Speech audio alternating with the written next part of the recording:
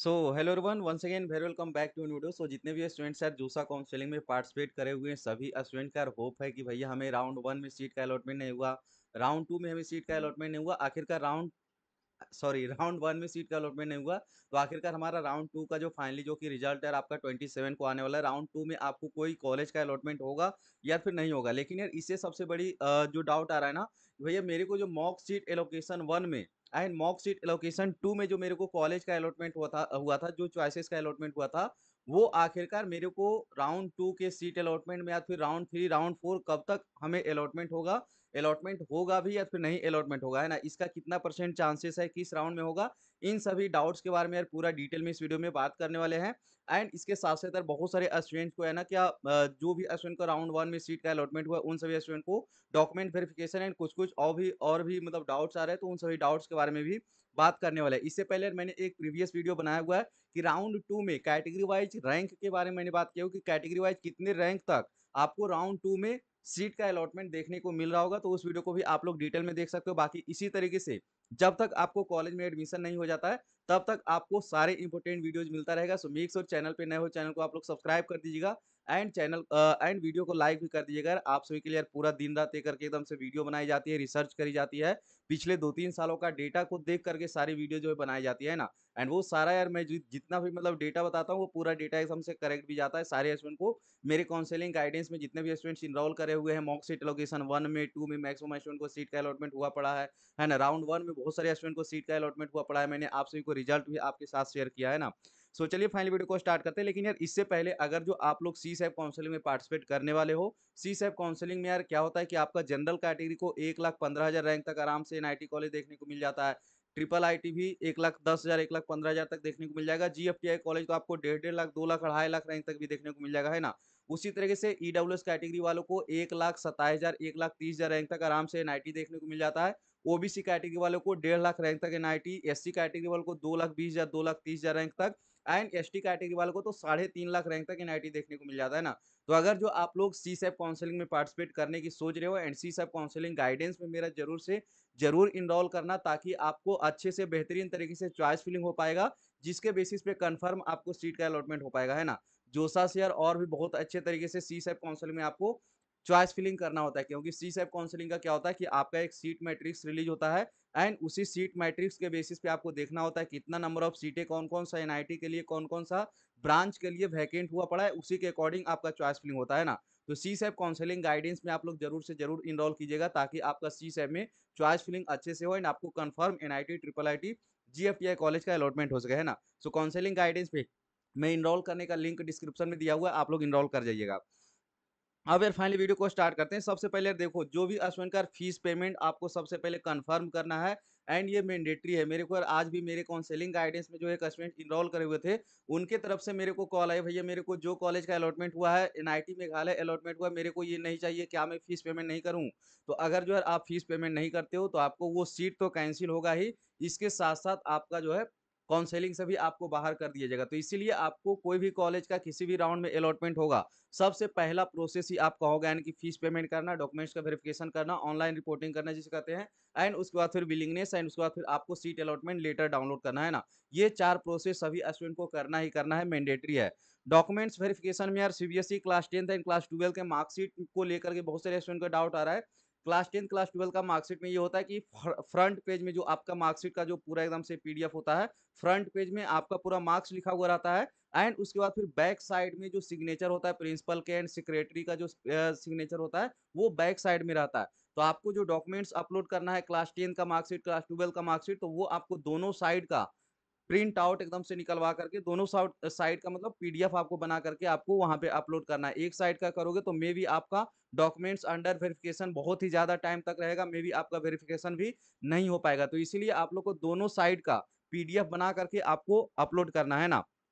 उसके साथ साथ मेडिकल सर्टिफिकेट के बारे में बहुत सारे स्टूडेंट का डाउट आ रहा है भैया गवर्नमेंट का गवर्नमेंट का मतलब डॉक्टर होना चाहिए फिर प्राइवेट डॉक्टर से भी चल जाएगा। वो इन सभी चीज़ों का कोई इतना मायने नहीं रखता है आपका सिर्फ़ वो जिन भी डॉक्टर से आप लोग सारा सबसे पहले तो आपका जो भी मतलब मेडिकल सर्टिफिकेट का फॉर्मेट है जोसा का वो आपको डाउनलोड करके उसी फॉर्मेट पे आपको बनवाना है एंड जो भी जाँच वहाँ पे लिखा गया है वो सारा टेस्ट करवाने के बाद सारा रिपोर्ट का जो है रिज़ल्ट रहना चाहिए एंड इसके साथ साथ जो डॉक्टर से आप करवाओगे उन डॉक्टर साहब का वहाँ पे जो है स्टम्प रहना चाहिए, उनका सिग्नेचर रहना चाहिए, डेट ये सब रहना चाहिए, बस इतनी चीज़ें आपको चाहिए, है ना? बाकी गवर्नमेंट रहे फिर मतलब प्राइवेट डॉक्टर है, इससे कोई फ़र्क नहीं पड़ता है। अगर जो नेक्स्ट अगर जो बात करें हाँ, इसके अलावा अगर जो कैटेगरी सर्टिफ़िकेट को को लेकर के या फिर कोई भी अगर जो आपको इशू आता है, डॉक्यूमेंट्स अंडर प्रोसेस बहुत ही ज़्यादा टाइम से है, तो आप लोग यार दो काम कर सकते हो, जोसा के ऑफ़िशियल वेबसाइट पे जो टोल फ्री नंबर दिया हुआ है एंड इसके साथ-साथ मेरे काउंसलिंग गाइडेंस में जो स्टूडेंट्स यार एक इनरोल करे हुए हैं, उन्होंने तो यहाँ तक बताया कि भैया मेरे को मतलब जो सर्टिफ़िकेट था वो बहुत ही टाइम से मतलब डॉक्यूमेंट वेरिफ़िकेशन नहीं हो पा रहा था। मेरे को जो कॉलेज का अलॉटमेंट हुआ पड़ा है ना, उस कॉलेज के ऑफ़िशियल वेबसाइट पे गया, वहाँ से टोल फ्री नंबर पे मैंने बात किया एंड उस कॉलेज से मैंने डायरेक्टली बात कर दिया। उन्होंने जस्ट 10 से 15 मिनट में डॉक्यूमेंट्स का वेरिफ़िकेशन का प्रोसेस उन्होंने कंप्लीट कर दिया, है ना? तो ये दो प्रोसेस कर सकते हो अगर जो आपका डॉक्यूमेंट का वेरिफ़िकेशन बहुत ही ज़्यादा टाइम से अंडर प्रोसेस में दिखा रहा है, आपका अभी तक वेरिफ़िकेशन नहीं हो पाया है, ग्रीन टिक यानी कि कंप्लीट नहीं लिखा पाया तो आप लोग ये दोनों काम कर सकते हो। जोसा के ऑफ़िशियल टोल फ्री नंबर से वहाँ से बात कर सकते हो या फिर आपको जो कॉलेज का अलॉटमेंट हुआ है, उस कॉलेज के ऑफ़िशियल वेबसाइट पे जाना है, वहाँ पे टोल फ्री नंबर दिया होगा, वहाँ से आप लोग बात करके भी यहाँ से आपका सारा प्रोसेस मतलब वो लोग भी कंप्लीट कर देंगे, ना? तो ये 2 प्रोसेस कर सकते हो। अब यार फाइनली बात करते हैं कि भैया मॉक सीट एलोकेशन वन में, टू में जो हमें सीट का अलॉटमेंट हुआ, वो हमें अलॉटमेंट होगा फिर नहीं होगा। तो देखो यार जोसा के ऑफ़िशियल की तरफ़ से तो आपने भी देखा होगा कि जैसे आपका मॉक सीट एलोकेशन 1, 2 का रिज़ल्ट आया था, तो वहाँ पे 3-4 लाइन में उन्होंने लिखा हुआ था कि मे बी जो आपको मॉक सीट एलोकेशन वन में एंड 2 दोनों के लिए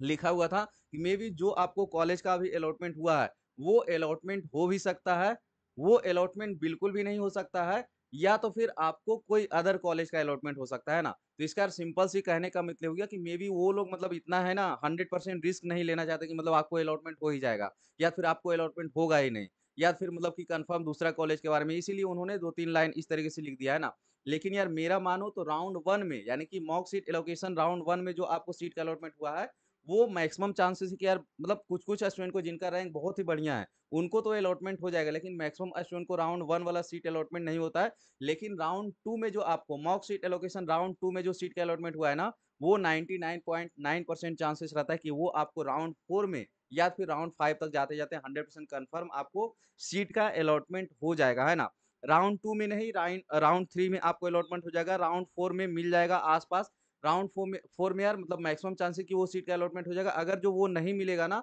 तो उसके आस-पास का कहने का मतलब हुआ कि आपका मतलब जिस नंबर का आपका मॉक सीट एलोकेशन टू में जिस नंबर का चॉइसेस अलॉटमेंट हुआ है, उसका हो सकता है 2-3 का नीचे का भी चॉइसेस या फिर मैक्स टू मैक्स आपका चांसेस तो यार ये रहता है कि आपको मॉक सीट एलोकेशन 2 में जो सीट का अलॉटमेंट हुआ है, उससे और भी बेटर ही ऑप्शन आपको मिल रहा होगा राउंड फाइव तक लेकिन आते-आते। आपका रैंक अगर जो बहुत ही बढ़िया है ना मतलब रैंक आपका लेट सी दस हज़ार पंद्रह हज़ार बीस हज़ार तक है, तो आपको तो आराम से आपको राउंड टू में ही आपको अलॉटमेंट हो सकता है, फिर राउंड 3, राउंड 4 तक ही आपको अलॉटमेंट हो जाएगा। लेकिन आपका अगर जो रैंक बहुत ही पीछे यानी कि मॉक सीट एलोकेशन 2 वाला जो सीट का अलॉटमेंट होने का रैंक जितना चाहिए, उस रैंक के आपका बॉर्डर लाइन पे अगर जो रैंक है, तो आपका मतलब राउंड फोर में ही आपको उस सीट का अलॉटमेंट हो रहा होगा, है ना?